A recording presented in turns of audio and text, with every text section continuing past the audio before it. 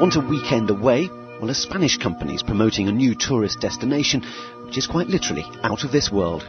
The first hotel in space, called Galactic Suite, might not exist just yet, but it's on schedule to launch in just over two years. $4.5 million for a three-night stay. It's astronomical in more ways than one. But the price is a huge reduction on the 20 to 35 million dollars that's been paid for a ticket so far and it brings the prospect of private space travel within reach of many more potential customers. Javier Claramunt of the Barcelona-based company says space tourism will become commonplace. If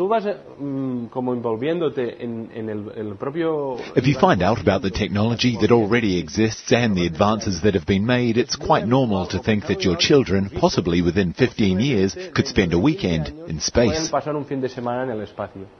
Until its own spaceship is developed, Galactic Suite's passengers will travel on Russian rockets, staying three days in a single pod 450 kilometers above the Earth traveling at a speed of 28,000 kilometers an hour.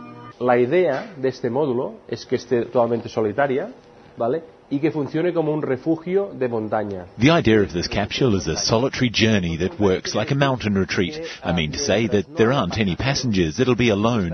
When the passengers arrive in the rocket, they will join it for three days, rocket and capsule together.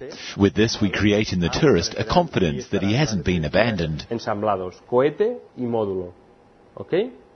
Con eso uh, generaremos una sensación de confianza al turista que no se sienta abandonado en el espacio, ¿no?